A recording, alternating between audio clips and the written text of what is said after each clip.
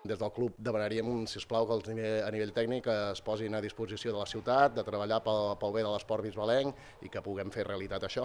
Segur que no és fàcil, però també eh, creiem que determinats informes es podien haver fet al juny i no esperar a finals d'agost, principi de setembre per trobar problemàtiques que ara eh, han de resoldre sí o sí. Aquesta és la reclamació del Bisbal Bàsquet a menys d'un mes del primer partit a casa, segona FEP. El principal obstacle són les graderies. Des del club expliquen que han ofert alternatives, com no instal·lar l'última fila de butaques de la graderia sud, quedant un aforament de 499 localitats en comptes de 530, i no necessita cap informe uns textos tècnics que reclamen que ja haurien d'estar fets per l'administració local i la Generalitat. També sorprèn una mica que un informe eh, que a més a més se'ls ha posat a disposició totes les qüestions tècniques i ja eh, eh, pensades i aprovades per enginyers eh, triguin tant. Sí?